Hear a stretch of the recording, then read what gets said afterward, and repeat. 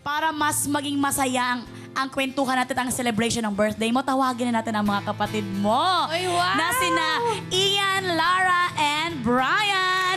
Welcome sa magandang buhay. Brian, come Ayan sila. Ayun. Andito pa si Brian. Ayan. Ayan. si Lara at saka si Brian. Ayo. Brian, come here. Oh, I'm here. Hi, Brian. Okay, si Ate Sofia na ang kukuha. Oh. Ayan. Cute ng t-shirt niya, oh.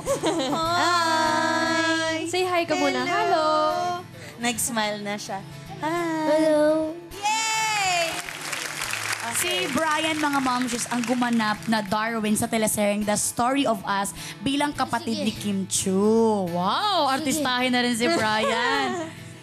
Gaano ka katutok kay Brian? sige. Sofia.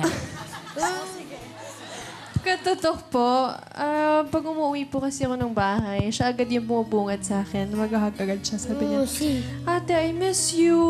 Mahal kita. Tapos ikikiss niya ako all over my face. Kinakawala, nakakawala ng pagod. Ayun, ganun siya. Mahal kita more. Say, Thank you po. take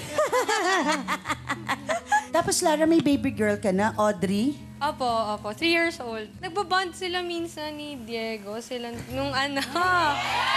Hala, may nasabi. ano, kasi may school ata ako noon. Tapos biglang nakita ko sa IG, may picture sila ni Diego. Lumabas pala sila. Tapos sabi, Hindi pinaalam sa'yo. Oo, parang nag-babysit sila for one day. Tapos yun, kahit ano daw orderin ni, ano, ni Audrey, in-order daw ni Diego. Nakakatuwa naman. Siyempre, tatanungin natin ang protective na kuya. Boto ka ba kay Chego ko? Well, ako, pag kasi pagdating sa mga ganyang bagay, ano eh, kumbaga, hindi ako yung palasagot or comment sa ganyan. Kasi ang gusto ko lang talaga, yung kung sino yung, kung kanino lang maramdaman, kung kanino sila truly happy, maging happy, ganon. Kasi walang boto-boto pagdating sa ganyang bagay. Kumbaga, Support. yeah, support. Support Opo. na lang sa sister. Oo, opo. Yun But of pong course, ganun. guidance pa rin. Yes, yun Okay. po yung hindi pwedeng mawala talaga.